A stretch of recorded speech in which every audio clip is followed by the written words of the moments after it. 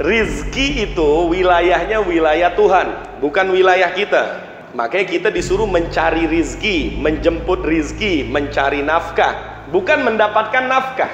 Rizki itu luas, bukan hanya bonus. Nah, kita bisa berkumpul semua orang-orang baik. Itu rizki. Kita bisa ketawa ke tv.com. Itu namanya rizki. Lingkungan yang baik, kawan yang baik. Itu namanya rizki. So, what is the definition of the rizki?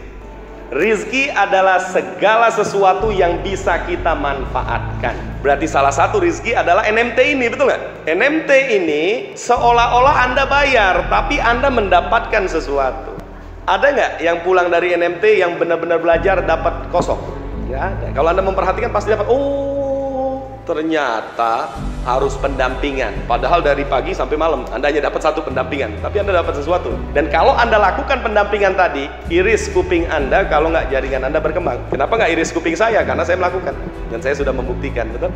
Jadi kembali lagi ke bab rizki. Rizki itu bukan area kita. Rizki itu adalah area Tuhan. Dan ingat, tidak akan dicabut nyawa seseorang sampai rizki terakhirnya Allah berikan. Rizki itu ada yang harus kita cari benar-benar, harus yang ada yang nggak kita cari kita dapat. Ini hasil usaha tadi. Dari tadi saya disuruh makan, nggak saya makan-makan, nggak jadi rizki buat saya. Pempek, tuh coba, pepaya dan kawan-kawannya, nggak ada yang berani nyentuh. Tapi kalau nggak saya manfaatkan, nggak ada nggak akan jadi rezeki buat saya, Pak. Itulah perumpamaan. Allah siapkan semua nih, siapkan pempek, siapkan ini, siapkan ini, siapkan ini, siapkan ini. Masalah lu mau apa kagak? Bisa nggak tiba-tiba saya pegang kenyang, kenyang, net Enggak lah, harus ada usaha makan tuh ya. Berarti bab rizki atau bab bonus bukan area kita. Makanya kalau ada orang yang ditolak, dia menyerah, berarti dia nggak mengerti hakikat. Berarti itu orang yang baper namanya, betul nggak? Dia pengen hidupnya serba mantap. Dia mau kalau pengen makan, makanan harus ada. Dia pengen kalau mau mandi, air harus ada. Dia pengen apa yang dia mau jadi kenyataan. Hidup seperti itu hanya bisa di surga. Maka saya sadarkan, ingat alam kita masih alam dunia. Alam dunia ini pasti berpasang-pasangan. Ada posting, ada tolak, ada happy, ada unhappy. Nah, jadi lihat, posisi gue bukan di bab rezeki. Posisi gue harus mencari. Tuhan akan melihat proses mencari nafkah tadi. Jadi rizki sudah disiapkan, tapi Allah mau lihat how to find the rizki.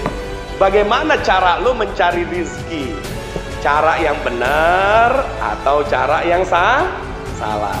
Maka Allah menyiapkan CCTV, betul? CCTV kanan kiri kita. Ada yang catat baik, ada yang catat ya.